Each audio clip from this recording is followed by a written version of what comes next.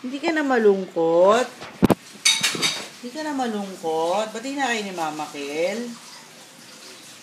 Hmm? Ikaw ba yung nagpupo dun sa kabilang kwarto? Nagpupo ka? Oo, oh, yan ka na naman. Pag pinapagalitan ka, umaalis ka.